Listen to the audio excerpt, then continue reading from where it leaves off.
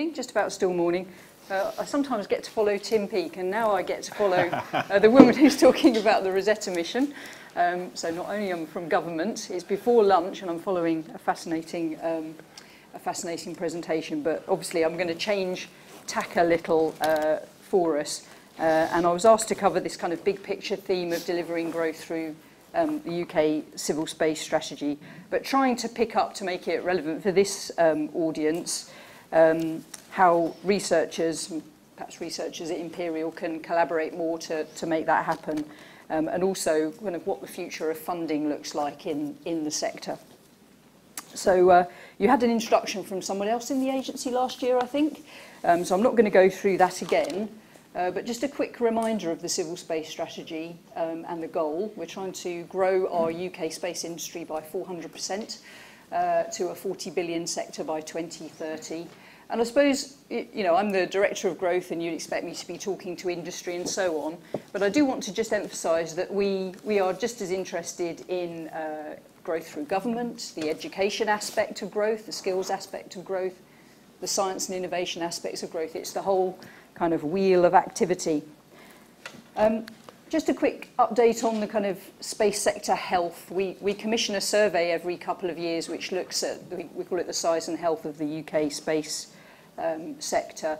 We've had the headlines, the headlines were published uh, of, the, of the latest survey looking at 2012, um, were published at Farnborough and we'll get the more detailed report um, later in, uh, probably later in the autumn sometime. But it's showing good, healthy growth. We're still growing, which is a bit of a relief when you're the Director of Growth and you've been in post for the two years that the survey um, was covering. Employment's up um, and growing well, um, and we're contributing now 11 billion um, every year to the UK economy. In perspective, though, that's the size of the British film industry. Um, so as somebody who I heard speak recently uh, said, you know, we're still quite haute couture, we're not quite, you know, top shop yet um, in terms of the, the, the kind of size of industry that we're going for. So very ambitious what we're going for, but we're still um, quite a niche sector. And I suppose one of the themes that I wanted to get across was this idea that you know a lot of this growth is coming in the downstream applications and services area. And we keep saying it, but this means that a whole load of people that aren't yet engaged with space don't think about themselves as part of the space sector need to start being part of the space sector. And I think that has quite a profound um, impact on the kind of collaborations that we're looking for people to make, uh, the kind of conversations, the kind of join ups, the kind of spin outs, um, that we're looking for. And I, I, I think it raises a real challenge to the identity of the whole sector, actually. Um, and here we are at, at, at Space Lab, and we've got a picture of a satellite. Um, and actually, how do you turn um, an industry which is quite sexy, you know, we've just heard about one sexy mission, into something that's much more everyday. You know, it's about applications and services that people are losing, but with, without losing the kind of excitement and dynamism that from a government perspective attracts funding and, and enables things to happen. So just from a UK Space Agency perspective, there's sort of three pillars to our activities. You'll, you'll know these, but I'll just mention them in terms of, you know, these are the kind of areas of funding. We've got our national initiatives, um, and that's something that we very much are keen to grow as an agency. We want to do more national, uh, more national programs. We still do the vast majority of our activity through the European Space Agency in terms of our funding, um, and it's still very much the ambition to continue to grow that budget to give new opportunities for people to um, have the kind of do the kind of innovative science uh, and increasingly the commercial activities that um, ESA undertake. Um, and we are also, because growth um, we anticipate is largely, or a big proportion of it is going to come from exports and from direct investment to the UK, we have to keep collaborating with other space agencies. And we're very um, we're very kind of alive to the international picture. So for example, the, the situation that we have with Russia at the moment has a profound impact on our space collaborations. What do we do about that? And what does that mean for the resilience of our sector um, are things that we look at from an agency perspective. So our focus, I mean, I put this slide in because I looked at the Imperial Space Lab slide, which was one of the introductory slides earlier on, and there's big overlap um, between a lot of the things that go on through Imperial Space Lab and all of the areas that we're looking for. Um, and the one I would add in terms of growing the sector is the increasing need for business savvy people with entrepreneurial skills to complement the skills of scientists, researchers, people who can do the science and the innovation um, to really grow the sector. And those people and the data analysts and those kind of skills are increasingly something that we need. Um, and this is just a reminder, I mean, some of these you've done through Imperial um, of some of the great science and some of the great achievements commercially and scientifically that the UK has. We're quite a well-organised sector. Um, there's a good relationship. We have this thing in government called industrial strategy where we try not to pick winners, but we try and have an ongoing partnership with the sector where we can talk about the development of the sector. And that's actually pretty well developed in the space sector. Um, back in 2010, so the last Labour government, um, the innovation and growth strategy was brought out. And that's something that's been refreshed over the last um, couple of years, um, culminating in a kind of government response to um, uh, the Space Growth Action Plan, as it was called. And really there were two aspects, that inward investment and export focus, and the need to really get to grips with what the markets with high growth potential were that the UK needed to start um, going after. And the other thing that's different about the strategy this time is that there's a lot more focus on implementation. Um, which I think is a good thing. So there's a, a sort of partnership right across uh, the sector um, trying to implement the recommendations that were made. Uh, one of the key recommendations, and I'll, I'll sort of make no apology for referring to somewhere else in the UK when talking at what is clearly a very well-established campus of activity here, um, was the establishment of this thing called the UK Space Gateway. Um, and that is something that we've done. Um, it's at Harwell in Oxford, and it's, it's relevant to the whole country. And why? Because we're a small, a relatively small country, we have to have a focal point for national growth. Government wants us to make sure that growth is distributed all around the country, not just in London and the southeast, which the figures tell us that it, it largely is. So here we have a, a set of activities, a campus of activities, but it's about an attitude. It's about an international, outward-looking, collaborative partnerships attitude that the UK needs to take to attract people to invest into the UK, to get ourselves into the kind of partnerships that we need to have, to show off some of the things that we do, not just at Harwell, but all over the country, for people to come and be able to talk to each other over a coffee and have exciting ideas.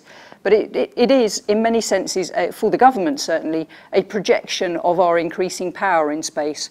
And one very overt symbol of that um, is the establishment of the um, ECSAT, the European Space Agency Centre um, at Harwell, which is a very significant development in terms of the, Britain's kind of um, place in European space, which I think is, is, is really becoming quite different. So just a picture of the Harwell campus and all the lovely facilities. The point here is keep clicking because there's still things coming up. You know, things are being built. If you go there, you'll see things happening. That will continue to happen. And I believe it will end up having a, a kind of quite a national centre. There's a, a new development partner there, very ambitious. Um, and I think it's an exciting, um, an exciting development for the UK. So what does it mean, um, sort of trying to bring it back to what does it mean for people here? What does it mean for the rest of the UK? Um, I think um, the point I wanted to make behind this slide was at the moment, most of the money that goes into the research and the developments and so on, it flows, some of it flows through the UK Space Agency, some of it through Innovate UK, TSB, um, you know, various other funding pots through the other research councils and so on. Increasingly, looking at the way that the space sector is going, there is money out there um, in other pots. There's the, there's the European money through things like Horizon 2020, which is very focused on things like solving societal challenges. But there's also big pots of money through the structural funds um, the, the local enterprise partnerships after the disruption of the kind of regional architecture uh, once this government came in. You know, things are getting much more organised around the space sector. A number of the local enterprise partnerships have realised that they've got some capabilities in space and they want to join up and together you know, particularly in places like, you know, I'll mention Cornwall just because it's uh, an area that can attract a lot of European funding. You know, people are really looking for um, opportunities to collaborate. There are people out there who want to know how to connect. Um, that's why Harwell's so significant. It's a place for people who don't really know about the space community, but think that they want a piece of it to connect with people who are already part of the space community um, and grow things. It's, um, you could say it's a bit, um, you know, I hope it doesn't come over as too Stalinist because it's not meant to be, but you have to have a focal point, otherwise collaborations don't happen um, in a productive way. Um, and um, it, th there's a strong sense of wishing to kind of capability map, understand what facilities and things we've got available, and for the space agency perspective, to really understand what the landscape looks like, both across the um, academic and research base, in industry, um, in you know what's happening in the little workshops and on the business parks, all over the place, to try and put a picture together about how we move behind these kind of markets that we've identified. So I've said a lot of that. I'm trying to tell you that it's relevant to you, really, um, and I hope I've explained why. The innovation and growth strategy, as I said, had a big focus on markets, and it tried to focus on growing markets that would bring over a billion pounds a year into the UK economy. It's probably a bit small to read, but it's available in the public documents, and many of you may have looked at it. And if you're out there on a sort of mixture of ages and, and, and people who are you know, changing careers or whatever, whatever, wherever you sit in this sector, this is quite a good guide, I think, to some of the potential areas that we might start to move into. Um, and I'm going to move on to talk about one of them, mainly because it takes up quite a lot of my time at the moment, but just to sort of explain the opportunity. Um, space planes, something that we sort of announced at Farnborough this year that we were looking at identifying um, the criteria around the creation of a UK space port. The government has a, a strongly stated ambition to have a UK, an operational UK spaceport by 2018, which isn't very far away. Um, and we are working very actively on it. We're looking at the regulatory environment, we're looking at the, you know, where this spaceport might be, which raises all sorts of interesting questions. And, you know, this is going to cause a lot of potential for everybody who's involved in space. First of all, you know, if you want a, an exciting ride into space and you've got a lot of money, great. But actually, there's a lot more to it than that. You know, we're really going after trying to get some kind of UK launch capability, which I think could be quite game-changing for the UK. Um, there's all sorts of things like the development of a supply chain that needs to go around all of that. There will undoubtedly be, you know, a, a kind of gateway around this spaceport, assuming we get one, um, which will offer all sorts of kind of campus opportunities for people and, you know, hopefully will stimulate people's imagination.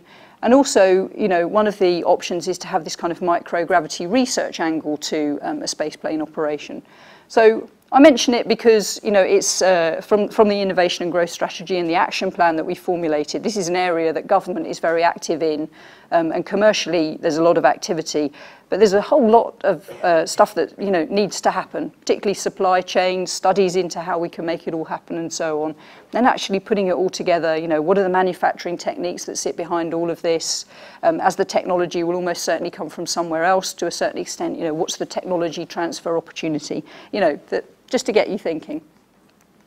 Another area, completely different direction, um, is uh, Space for Smarter Government. It's a programme uh, also in my area. And it's about, I mean, it seems extraordinary. It's a bit like government suddenly realising that it can use IT, you know, it can use space. And actually, a lot of people are using, um, in government, use space without really realising it. It's got a big uh, growth potential. Um, it's got a big export potential. We could export a lot of those services. Again, there are a lot of opportunities here. There's funding behind it. You know, there's a, an, another opportunity to tap local funding pots. um, and there's an opportunity to, to you know, the, we're tackling the deficit in, uh, in, in government and we're doing it by cutting public spending. One of the corollaries of that and the opportunities of that for space is that space offers big efficiencies for government and therefore could be an area that could receive um, funding of that nature. So that's the, the philosophy behind the programme. You probably can't see that, but this, this was the light bulb moment for a load of uh, government departments that they were actually already using space um, assets uh, to conduct their normal business. And this is something that will push out. And you'll remember, um, you may have heard of this kind of eight great technologies that government um, sort of identified as key enabling technologies for the future and space-enabled um, applications are one of those. And I think, you know, having that in the mindset and, and hopefully having that survive into the next administration and so on will be a really important thing for sustaining public spending in space, which I think uh, is absolutely vital. So this is just a bit about the programme, but it's, it's about neutrally putting together public sector people who have requirements with people who have expertise about using space. So the underpinning, sort of moving towards wrapping up really, um, the goals for space, it's a big, it's a big, big challenge. Um, and it's a pretty resource hungry sector. Um, the R&D pro investment profile for space um, needs to be higher It's a sort of around 10%, maybe a bit less than 10% at the moment. So, you know, okay compared to something like IT, but not very big compared to something like high value manufacturing, for example. Um, and we're in a situation where whatever, whoever wins the next election, uh, it's highly likely that the squeeze on public spending will continue. We'll probably go to almost exclusively using cuts in public spending to uh, service our debts as a nation. So for a sector that relies heavily on public investment, that could be bad news, which is why I emphasise government use of space as a way to, to kind of uh, make the case for increasing government funding. And there has to be more industry funding and other co-funding coming into the sector as well. Um, I think there's a big challenge coming from the identity of the whole sector and, you know, uh, increasingly, we'll see kind of synergies between the civil and the military side, which raises some issues. But really, it's all about how people are going to use these applications and services for the future. Um, inward investment um, is something that we're very actively encouraging, but again, that's a, potentially could be a threat to the existing sector or be seen as an opportunity. That's something that needs working through. But for people in this room and people who are conducting research, looking for funding, you know, making those partnerships, spotting those new partnerships, understanding who's coming, what they're looking at, you know, that's all part of um, sort of building your offer um, for the future. And we will continue to use and invest in uh, facilities and uh, items at Harwell um, at the UK Space Gateway to act as our shop window for what we're doing. And actually just on the campus, we're trying to grow the number of jobs there as well. But actually, it's a drop in the ocean compared to our target of 100,000 jobs directly uh, employed by space by 2030. And we're, we're about 34,000 now, so quite a way to go. We have a lot of strengths in the UK, and you have a lot on your Imperial Space Labs slide. The trick is how do you grow them? How do you spot the new areas? Um, and how do you select what the new, what the new things are going to be uh, without sort of heading off down the, the, the wrong alleyway? I think the future looks very exciting for this sector despite all of the challenges. I think it is firmly embedded um, in the public psyche. We've got, you know, we've got Rosetta, which is huge public interest around that, huge sort of space sector interest. Um, these are all opportunities to sell our sector. We've got the Tim Peake mission coming up next year. We're doing a lot in the agency and there's a lot going on around the country to sell that. And there is a fascination amongst the public about understanding some of the basic science questions and people like the applications and services that come. Um, so I think we'll start to get to some of these um, answers and exploit some of these opportunities. And I hope that a lot of people will start to see the sector as somewhere where they can have a very rewarding um, well remunerated uh, career in this sector and hopefully have the, the innovative ideas that go with it. There is funding available, but I think it's a challenge. I'll be honest, from a government perspective, I think maintaining uh, government funding in the space sector is going to be a challenge over the next few years because of the need to continue to pay off um, our national debt, to, for want of a better word.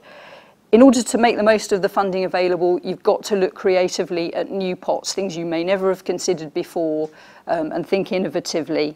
In order to attract funding, I think people will have to focus you know, increasingly you talk to research councils and others, they are trying to be more strategic about their funding. And I think you've got to be smart about demonstrating an impact around the strategic areas that research councils, government, you know, the, the, the funding areas are, are, are looking at. And this regional funding dimension and the downstream, you know, you might think, well, you know, I, I, I like working in upstream space, but there's, that's where the opportunity is. Uh, and the challenge is how to, um, how to make that happen. Um, And I, I suppose uh, the, the final thought is, though, if UK doesn't grasp this opportunity, you know, one of the reasons that we're, we're so, sort of pressing after the space planes, space ports opportunity uh, from a government angle is we will get left behind. I think we're standing, you know, with lots of exciting things about to happen. We're standing on the, uh, the beginning of a new era. I think there's a real sense of a new era. There's a real sense that it really is possible for ordinary people to get out into space in some of our lifetime, maybe not my lifetime, but some people in the room's lifetime. And what does that mean for us? And what does it mean for our relationship with our own planet? And what does it mean for the kind of applications and services that service that new way of life? So um, yeah, that's how we're going to get to the 400% growth. Uh, and hopefully I've, I've sort of talked to you a bit about how you need to think um, in terms of tapping some of the opportunities that there are um, to grow your own careers and grow your own research or uh, sort of interests um, in this area. We're always happy to talk and get in touch, um, whether you've got questions about, you know, what the regulatory regime means for you, you know, what, what funding pots are available. Um, I may not be able to help you, in fact probably won't, but I'm sure I've got a colleague who can. Um, and I just want to sort of sell the message that although we're a small agency, we're absolutely committed um, to getting the kind of excellence in this sector for the UK um, that we'd all like to see. So I'll stop there. Thank you.